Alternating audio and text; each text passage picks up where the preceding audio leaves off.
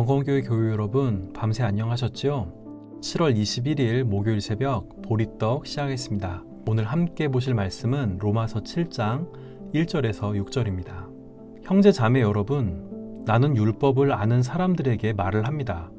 율법은 사람이 살아있는 동안에만 그 사람을 지배한다는 것을 알지 못합니까? 결혼한 여자는 그 남편이 살아있는 동안에는 법으로 남편에게 매어 있으나 남편이 죽으면 남편의 법에서 풀려납니다. 그러므로 남편이 살아있는 동안에 그 여자가 다른 남자에게로 가면 그 여자는 가늠한 여자라는 말을 듣게 됩니다. 그러나 남편이 죽으면 그 법에서 해방되는 것이므로 다른 남자에게로 갈지라도 가늠한 여자가 되지 않습니다. 나의 형제자매 여러분, 그러므로 여러분도 그리스도의 몸으로 말미암아 율법에 대해서는 죽임을 당했습니다. 그래서 여러분은 다른 분, 곧 죽은 사람들 가운데서 살아나신 그분에게 속하게 되었습니다. 그것은 우리가 하나님을 위하여 열매를 맺게 하기 위함입니다. 이전에 우리가 육신을 따라 살 때에는 율법으로 말미암아 일어나는 죄의 욕정이 우리 몸의 지체 안에서 작용해서 죽음에 이르는 열매를 맺었습니다. 그러나 지금은 우리를 올감했던 것에 대하여 죽어서 율법에서 풀려났습니다. 그래서 우리는 문자의 얽매인 낡은 정신으로 하나님을 섬기지 않고 성령이 주시는 새 정신으로 하나님을 섬깁니다. 아멘. 로마서의 수신지인 로마는 로마 제국의 중심지였습니다. 이 로마에도 그리스도인들이 살았는데 그들은 주로 이방계 그리스도인들이었습니다.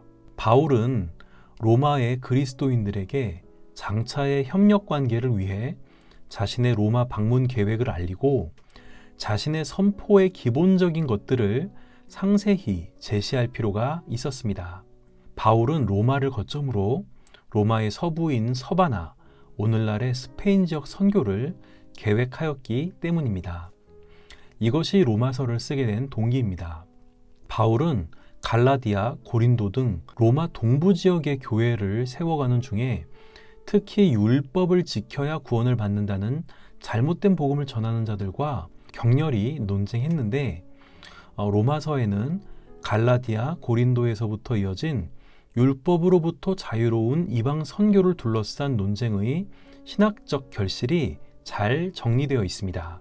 그 신학적 결실은 바로 칭의론, 즉 오직 믿음으로 말미암아 은혜로 죄인이 의롭다 하심을 얻는다는 가르침이라 할 수 있습니다. 로마서 7장 1절에서 6절은 율법이 더 이상 그리스도인들에게 영향을 미칠 수 없다는 사실을 부부 관계에 빗대어 설명하고 있습니다. 한 여인이 있는데 그 여인은 결혼을 해서 남편이 있었습니다. 그 남편은 아주 꼼꼼하고 정확하고 엄격했습니다. 반면 그 여인은 좀 게으르고 자유로운 사람이었습니다. 남편은 그녀에게 늘 꼼꼼하고 정확하게 살 것을 요구했습니다.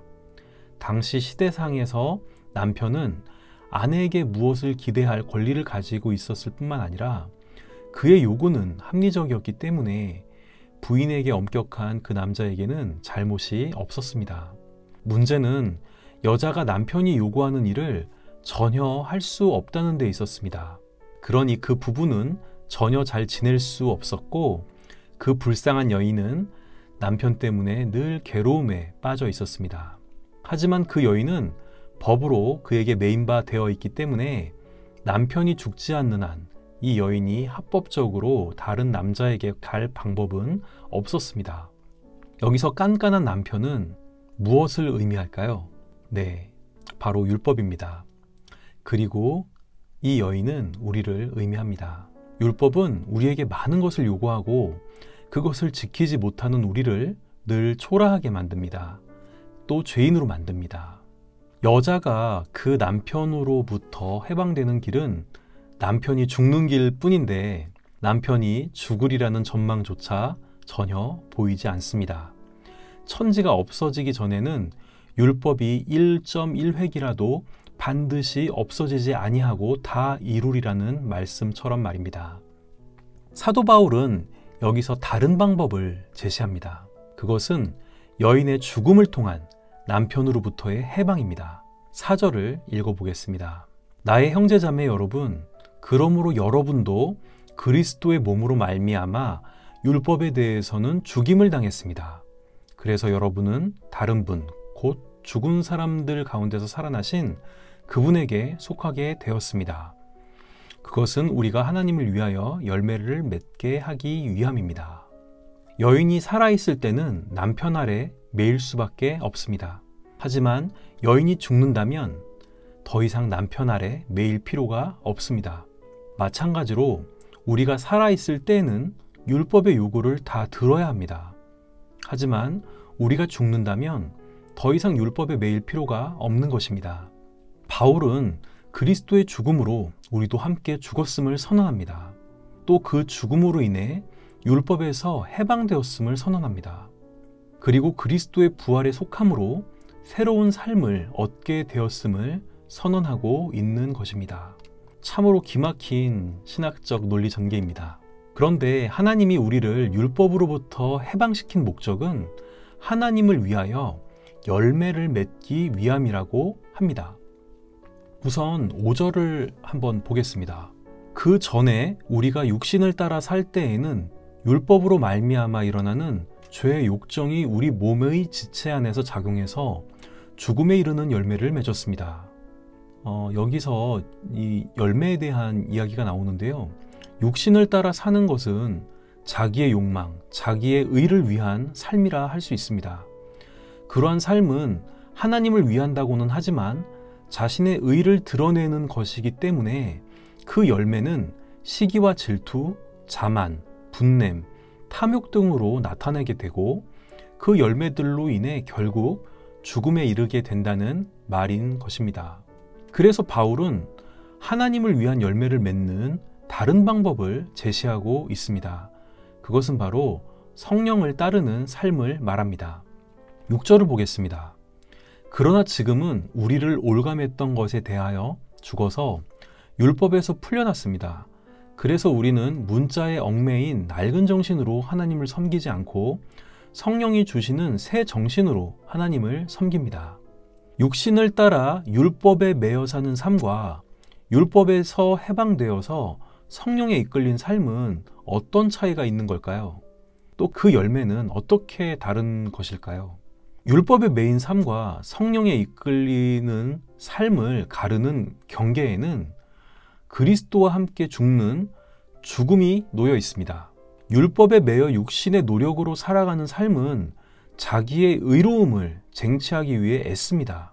하지만 결과는 늘 절망적입니다. 그 열매는 욕심이요, 사망일 뿐입니다. 그래서 이제 육신을 따르는 옛사람을 그리스도와 함께 십자가에 못 박아야 하는 것입니다. 자신을 십자가에 못 박은 후에 주어지는 성령으로 사는 삶은 이제는 내가 산 것이 아니요 오직 내 안에 그리스도께서 사신 것이라는 고백처럼 내 안에 계시는 그리스도께서 일하실 수 있도록 좁은 자기애의 경계를 넘어 빈 마음으로 우리의 삶을 내어드리는 것을 의미합니다. 하나님의 의가 드러날 수 있도록 말이죠. 우리를 비워 하나님의 의가 드러나도록 행한다면 우리가 자랑할 것이 없습니다. 하나님이 하신 일이기 때문입니다. 그래서 교만할 수 없는 것입니다. 또 남에게 인정받으려는 마음 때문에 괴로울 일도 없습니다. 어차피 우리가 한 일이 아니기 때문입니다. 그래서 사랑과 희락과 화평과 오래 참음과 자비와 양선과 충성과 온유와 절제와 같은 생명의 열매를 맺을 수 있는 것입니다. 이 열매들은 육신을 따라 자기 의에 사로잡혀서 행한 죽음의 열매와는 대조되는 것입니다. 우리가 하나님의 일을 할 때 우리 자신의 의가 드러나는 것에 얼마만큼 신경을 쓰는지 다시 한번 우리가 돌아봤으면 좋겠습니다. 우리 자신이 드러나기 위한 육신을 따른 노력과 애씀을 멈추고 성령께서 역사하실 수 있도록 우리의 옛사람을 비워냈으면 좋겠습니다. 그렇게 행할 때 하나님을 위한 생명의 열매가 풍성할 줄을 믿습니다. 함께 기도하시겠습니다. 오늘은 사도 바울이 이야기한 기독교 복음의 정수인 성령을 따르는 삶에 대해 묵상해 보았습니다. 복음은 깊은 우물과 같아서 거듭해서 퍼올려도 그 끝을 헤아릴 수 없습니다. 복음의 진리로 우리를 푹 젖게 하옵소서. 그래서 하나님의 경륜을 헤아리는 지혜가 더욱 커질 수 있도록 인도하옵소서. 우리의 노력으로 행하지 않고 하나님이 행하실 수 있도록 매일매일 우리의 욕심을 비워내게 해 주옵소서. 우리의 육신을 따라 행한 사망의 열매를 맺지 않게 도와주시고 성령에 이끌려 행한 생명의 열매를 맺게 도와주옵소서. 자기 비움의 본이 되신 예수님의 이름으로 기도드립니다. 아멘.